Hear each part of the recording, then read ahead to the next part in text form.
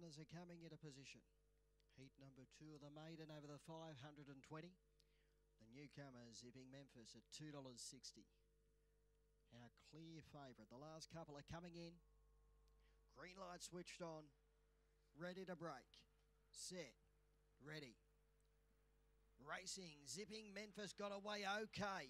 Wide out, Jagungal Queen won the break. Bougainvillea showing good dash. Bougainvillea went through, grabbed the early lead by two.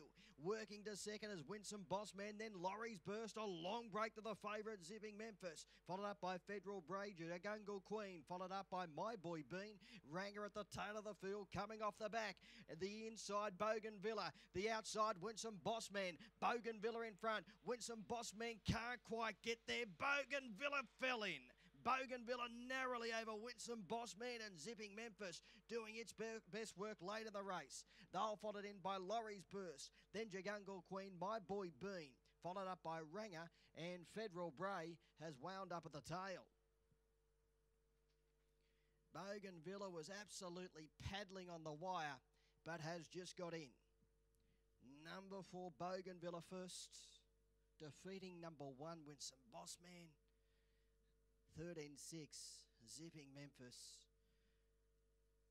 That was a messy race through the first corner into the back straight.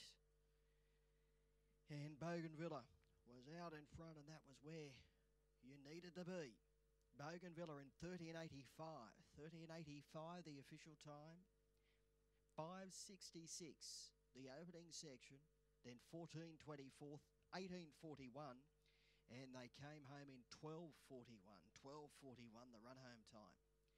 Number four bougainvillea a red brindle bitch by a spring gun out of agni owned by graham dixon and trained by neil staines at Yass. Winsome bossman has run second john finn 13 zipping memphis. Jason magrian fourth in going to seven laurie's burst. It is 4-1